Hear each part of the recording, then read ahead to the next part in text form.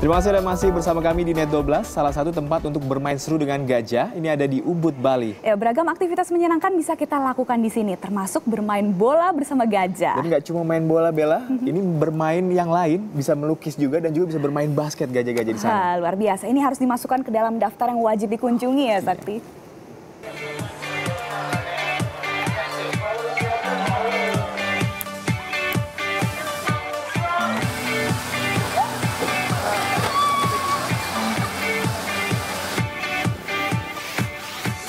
Biasanya kita melihat dari jauh, sekarang saya bisa berdekatan langsung bahkan memberi makan.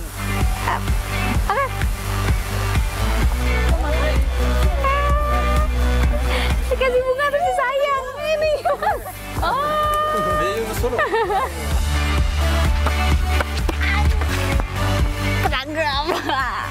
Main sama gajah. Ah, bahkan saya mandiin gajah. Aryan, mandi.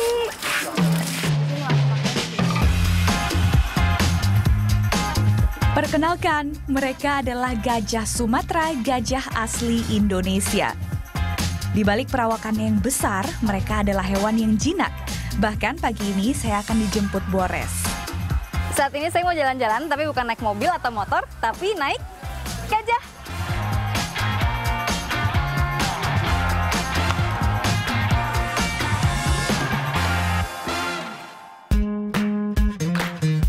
Memulai pagi ini, saya diajak berkeliling taman seluas tiga setengah hektar dengan menunggangi Bores, gajah jantan berusia 30 tahun.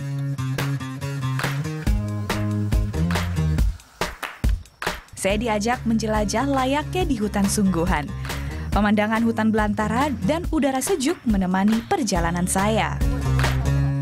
Setelah berkeliling melihat miniatur habitat gajah, bermain dengan bayi gajah rasanya sulit untuk ditolak.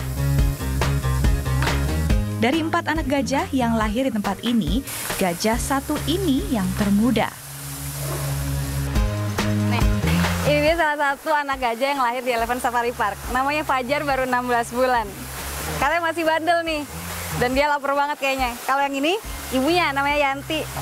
Kalau yang ini, babysitternya. Kayak orang aja punya babysitter, namanya Debbie. Hai Fajar. Tak berbeda dengan manusia, anak gajah pun sangat aktif dan tidak bisa diam. Di kandang terbuka ini, Fajar tinggal bersama ibunya, Yanti, dan Debbie. Pengunjung bisa langsung memberi makan, pastinya dengan makanan yang telah disediakan, seperti umbi-umbian. Beberapa kali Fajar, Yanti, dan Debbie berebut makanan. Sebagai hewan yang dikenal cerdas dibandingkan mamalia darat lainnya, gajah-gajah ini kerap unjuk kebolehan. Dari memperlihatkan kemampuan berdiri dengan dua kaki, melukis, bermain basket, hingga bermain bola. Ayo ganteng. Saya pun tak ketinggalan ikut bermain bersama si ganteng, gajah belia yang jago main bola. Tendangannya nggak kalah sama Messi sama Ronaldo. Ayo main lagi. Didampingi pawang, gajah-gajah ini lincah mempertontonkan kemampuan. Pengunjung berdecak kagum melihat aksi mereka.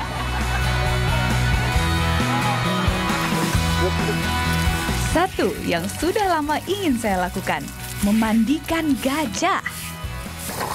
Ah, ternyata mandiin gajah tuh nggak susah, cuma butuh sikat sama air kita udah bisa mandiin gajah. Bahkan sesekali Niki malah minta minum saat dimandiin. Tapi kita harus hati-hati nih bagian mata sama telinga, kita harus berhati-hati saat menyikatnya. Ayo Niki, mandi lagi. Kali ini saya dapat kesempatan memandikan Niki, gajah betina berusia 27 tahun. Niki paling senang berbaring saat sedang dimandikan. Wah, lucu ya.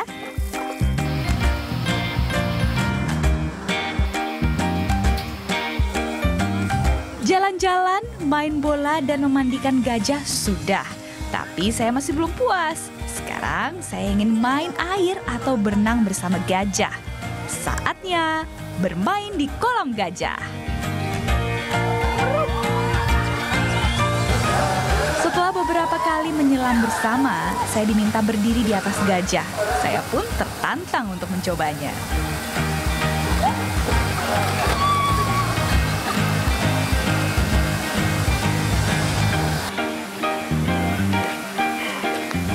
Baju, badan basah kuyup semua. Tapi ini seru dan mesti dicoba mandi atau berenang bareng gajah. Uh. Oke, Wares.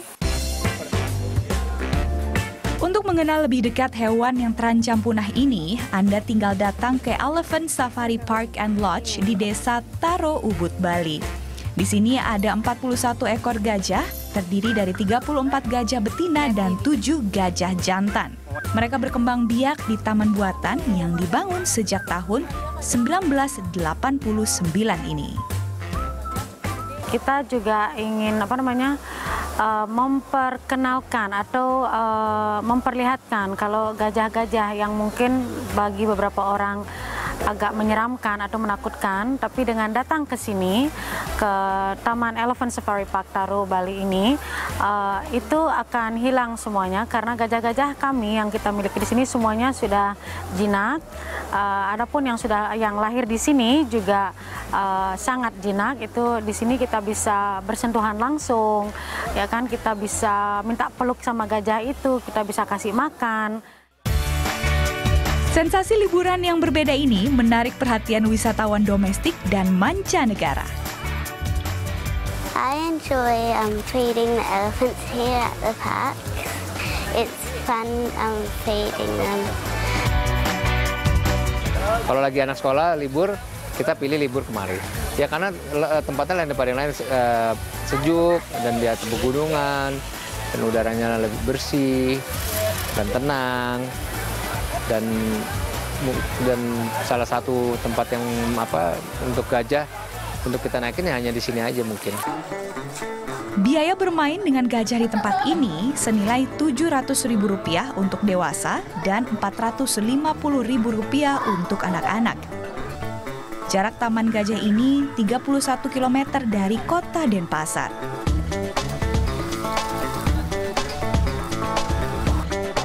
Taman Gajah juga menyediakan fasilitas lain seperti museum. Museum memuat informasi asal muasal gajah. Di sini juga ada penginapan yang menawarkan suasana alam, restoran, dan tak ketinggalan toko souvenir yang menjual beragam benda bertema gajah. Amelinda Widya, Busana Bayu melaporkan untuk NET.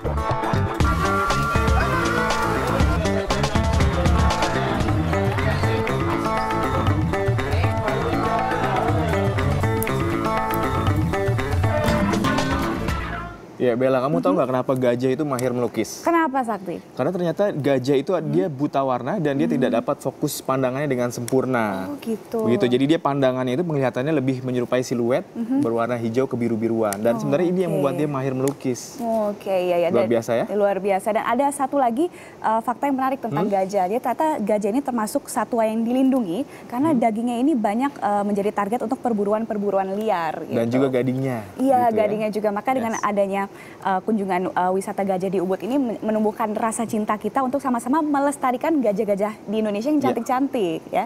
Dan berikut